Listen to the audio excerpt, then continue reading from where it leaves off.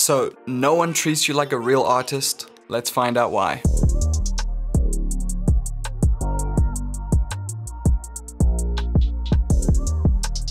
Do you go to that family reunion just wishing you could sink into your chair? Constantly being asked by your relatives, How's that music thing working out?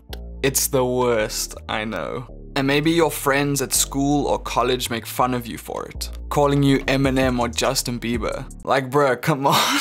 Why are these types of people always so uncultured on artists? Either way, it sucks, and you wish you had an audience that took you seriously and appreciated your music.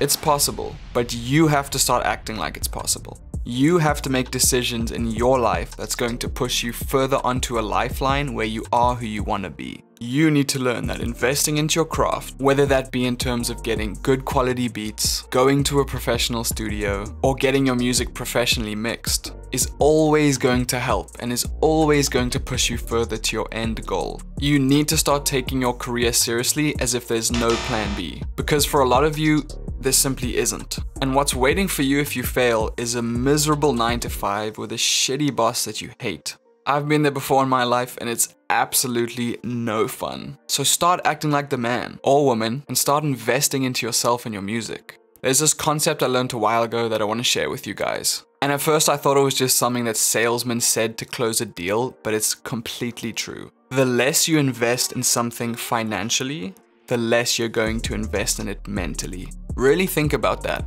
If you buy a beat from some dude on BeatStars for $10, you're probably just going to forget about it. You might not even use it or listen to it again. Because you invested so little into that beat, it holds such a small amount of significance in your life. Now think about if you buy an exclusive license from a very talented producer for $300. You're going to care about that beat way more and it's going to hold much more significance in your life. And you're sure as hell not just to let it sit on your desktop. You're going to use it. And you might even sit with it for weeks trying to make the perfect song to fit that beat. And that's because it holds way more significance to you, because you had to invest way more into it.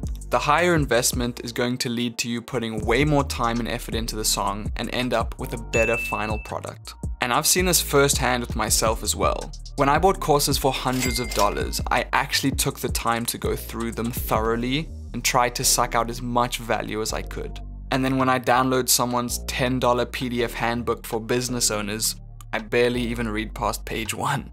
So I want you guys to think about this and start thinking about ways that you can take your music more seriously. If you want to work with top of the line producers and engineers that are actually going to push you to make good music that old Joe Schmo won't bully you for, the GYMT team is always here for you.